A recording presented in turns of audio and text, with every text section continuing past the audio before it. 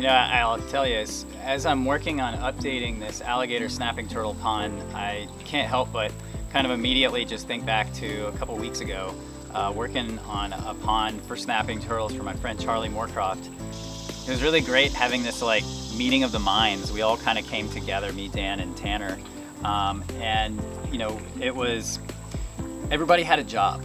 It was cool. We all got to work together and come up with you know, a design that I think ended up working really well for Charlie and it works really well for the snappers.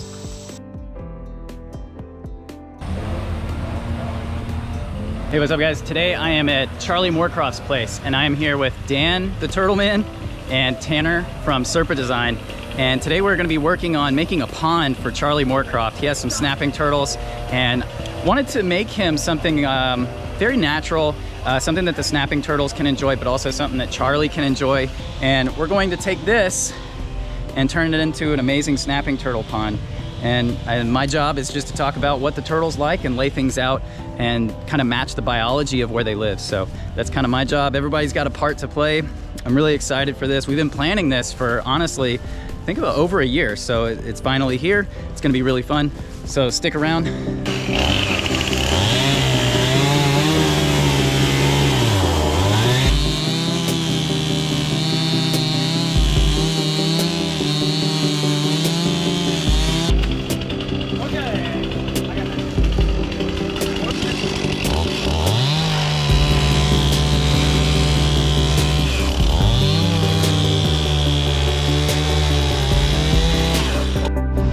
We got the tree down.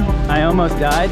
So right now, carrying this wood and uh, yeah, I think I used one of my nine lives. I think I'm down to three now, but pretty stoked. This is gonna be great. All these, like the way we could link these together. Oh yeah, and then you have plants in between because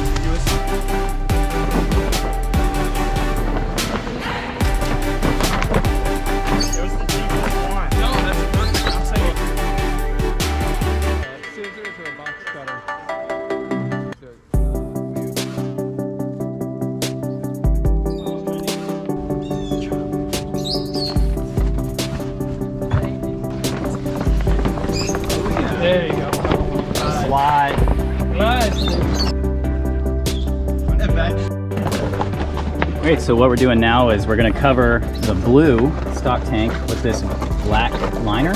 Uh, this will kind of hide it. It won't have that blue look. It won't look like a big blue bowl in the ground. Um, and then this also gives us the option to really kind of start scaping around it and covering it up. And then this way, when you look in the water, it's gonna look a lot more natural.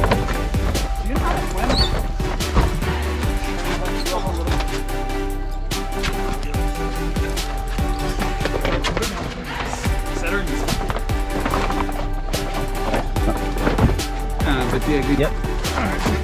Yep. There we go. And we could put the geotext down, burn them up.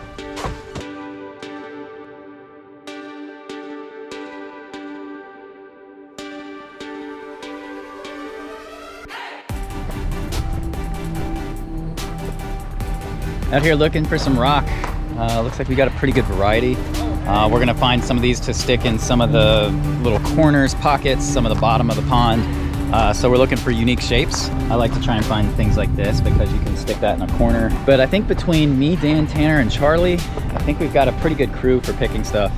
Hopefully we're strong enough because this stuff looks heavy. All right, so we got some rocks, some rocks to weigh, and then uh, Charlie gets to cut a check. Yeah. Hey, buddy.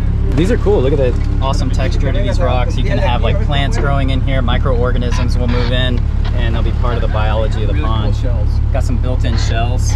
Really cool stuff. Alright. Is that it? No, in a Cap Rock, More?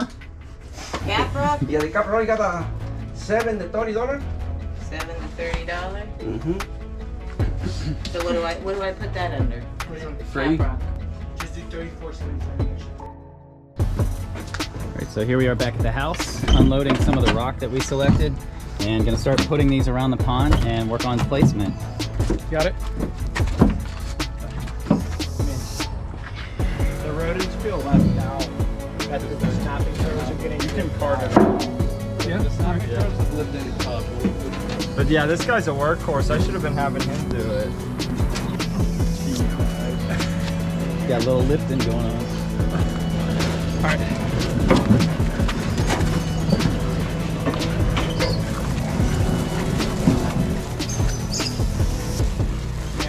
I don't want to break the dogs.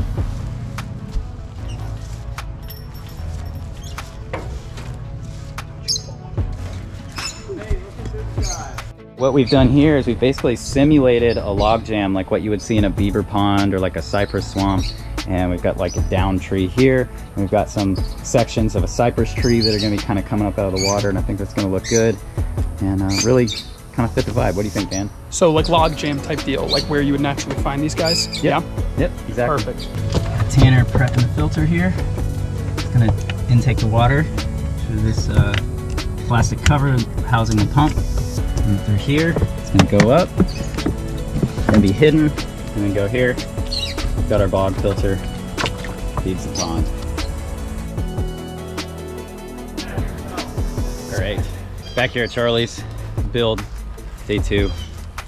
We're sweaty, it's hot. Dan's got a hammer. So yeah, we're back at it, placing rocks. Gonna try and knock this thing out today because I gotta drive back tomorrow.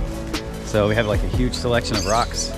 You can see we've got all size different rocks, pieces of flagstone, have like some pretty cool like bent palm trees. And this is where it gets awesome.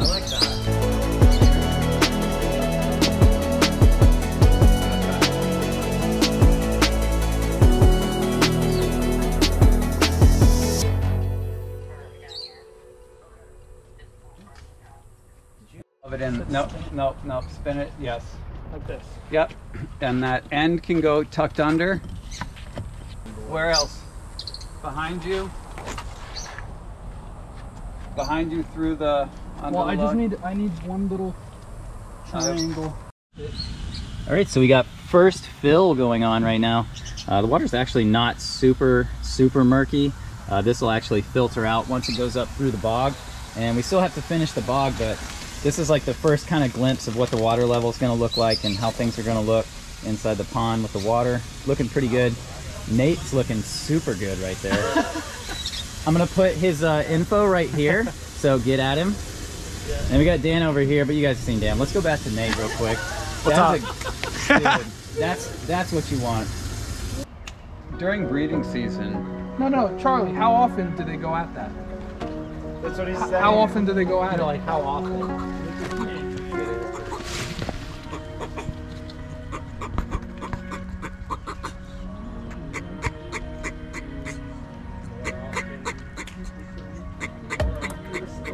What are you thinking so far about the pond?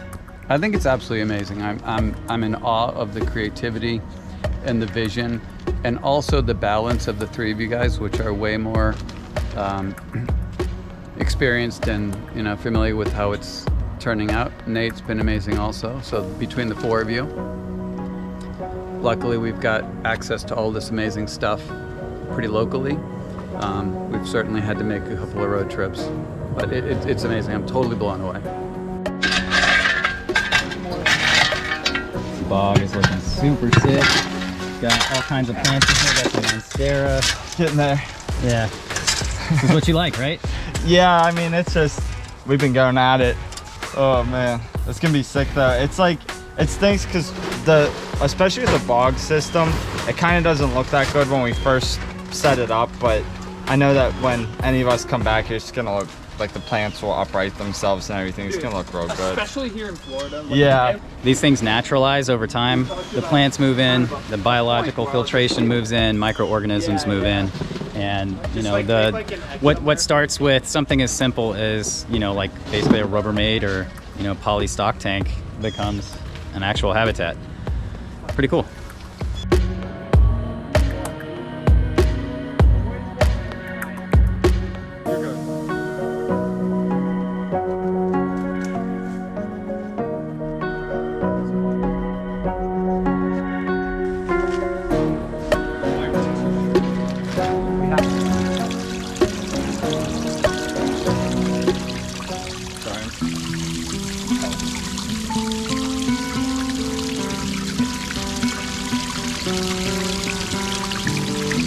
Need like uh yeah, give me like a give me that piece of slate, the one.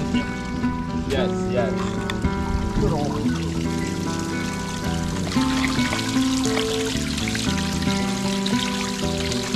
All right, so what Tanner's doing right now is working on the waterfall. It's almost like tuning an instrument for a certain sound and a certain flow rate. You know, you want to place like rocks or, uh, you know, some kind of obstruction and it's going to affect the flow and it's going to affect the sound. Uh, if you want like a higher flow, you want to make it more narrow. You want to place, you know, your rocks in there to really focus it, or you can make it wider and mellow. So right now he's trying to get it to the desired effect and, you know, you just play with it. You just fine tune it. it's like tuning a guitar. It's pretty sick.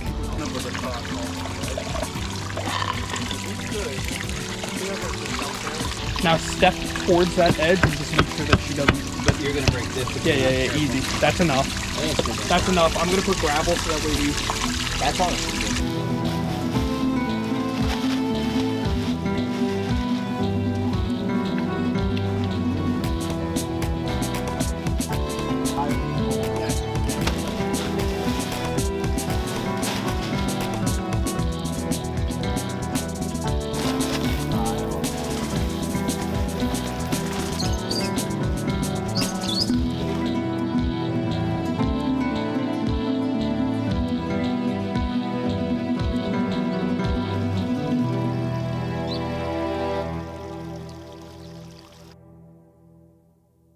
You know, once you see the finished pond, that's amazing, and you're standing there taking it in. But the icing on the cake is when you put the turtles in there the first time. Oh.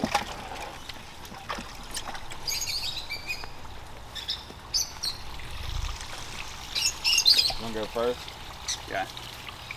All right. Check it. And you just put them in, and they go in there, and they just slowly disappear into the pond. And that's what you want to see. You want to see the animals just disappear. They've become one with the environment that you created. It doesn't get any better than that. So I want to thank Tanner, Serpa Design. I want to thank Dan, the Turtle Man, and a big thank you to Charlie Moorcroft for basically making this all happen. I had a fantastic time. Please check out everybody else's channels. I'm going to link them in the description below, and you guys give them a shout. Tell me what you guys think. Let me know if you've ever built a pond. Tell me all about it below in the comments, and uh, I hope to see you guys next time. Peace.